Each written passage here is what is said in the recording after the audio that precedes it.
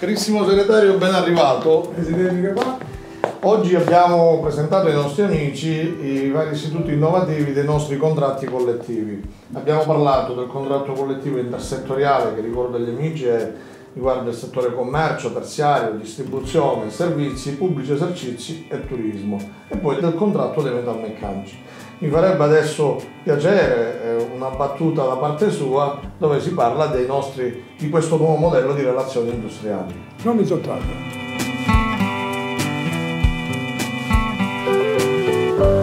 A fronte delle tante positività che diciamo, abbiamo nel contratto, a me piace sottolineare che il rapporto fra Comstal e CIFA è l'esempio di una relazione moderna tra sindacato dei lavoratori e associazione di imprese. Un rapporto che si basa non sul conflitto ma sul dialogo, un dialogo che nasce dalla consapevolezza da parte del sindacato che il benessere e la tutela dei lavoratori passa anche attraverso la crescita delle imprese e identica consapevolezza da parte dell'imprenditore che la competitività dell'impresa passa anche attraverso il benessere dei lavoratori.